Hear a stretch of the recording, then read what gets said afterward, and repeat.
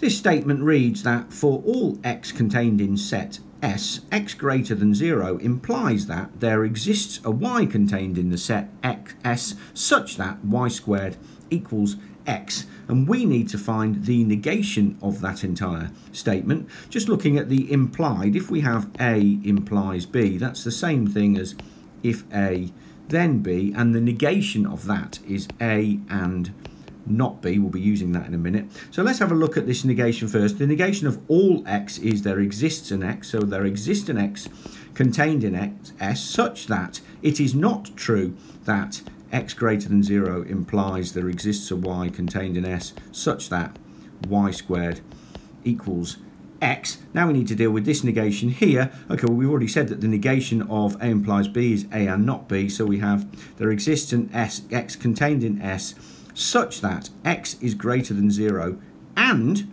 not there exists a y contained in S such that y squared equals x. And now all we need to do is do with this negation. The negation of there exists is for all, so we have there exists x contained in S such that x is greater than 0 and for all y contained in S it is not y squared equals x and not y squared equals x is simply y squared is not x. So we have there exists x contained in S such that x is greater than 0 and for all y contained in S, y squared is not equal to x, which is answer B.